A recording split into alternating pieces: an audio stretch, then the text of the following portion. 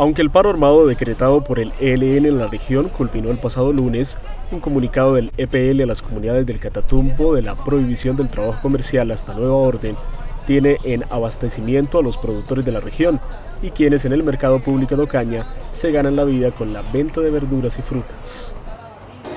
Y, está solo otra vez porque ya la gente compra y hace el mercado y se va para su casa ya. Y acá en la tarde, pues lo que fue tipo de las 2 de la tarde ayer, esto estaba como para jugar un partido de fútbol, solo, solo, sin carro y sin gente y sin nada. Y este, el comercio está muy, muy malo porque el campesino el que hace aquí el, el mercado y dígame sin campesino qué va a hacer uno. Ocaña, siendo la capital de la provincia, está aún incomunicada con la región. Los camiones que transportan productos temen movilizarse por las vías terrestres, lo que ha llevado a que la ciudad haya escasez de alimentos.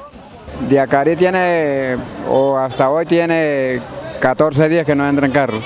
Están detenidos todos, de Acari, de, de Tiorama, están entrando acá de, de aquí la playa, de Ábrigo y por aquí la vereda cerquita, pero de partes lejas no entra nada. Una caja de tomate valía 20 mil, ahora puede estar llegando a 30 mil, 35 mil. Son 15 o 20 mil pesos más de, de costo que lleva. Como los carros también trayendo la carga tienen que cobrar caro. Ah, no, la olla sí está al mismo precio, barata. Lo que se ha subido es este, la, menos la yuca, la papa. ¿Cómo estaba la yuca antes y cómo está ahora? La yuca estaba por allá a 65 el bulto, ahorita está a 85. ¿La papa? La papa estaba a 30 y ya está a 35, a 40. ¿El tomate? El tomate sí amaneció hoy por allá a 25 mil pesos, subió 5 mil en caja. La situación se agudiza para quienes venden los productos en el mercado que cada día es más solo por parte de compradores y la afluencia de habitantes del Catatumbo es cada vez más baja. Sí, los precios muy caros y eso gana uno poco y las ventas muy, muy malas. No hay venta casi nada.